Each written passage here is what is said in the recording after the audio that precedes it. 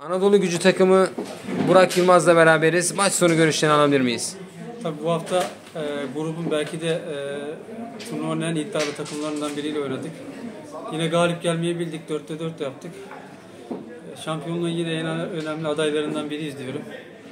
Aynı şekilde arkadaşlarla beraber turnuvaya 3 puanla devam edeceğimizi diliyorum. Teşekkür ederiz.